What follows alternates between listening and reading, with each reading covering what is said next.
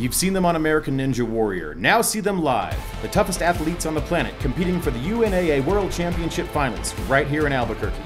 The Ultimate Ninja World Championship Finals, July 21st at La Cueva High School Gymnasium. Go to ultimateninja.net for more details.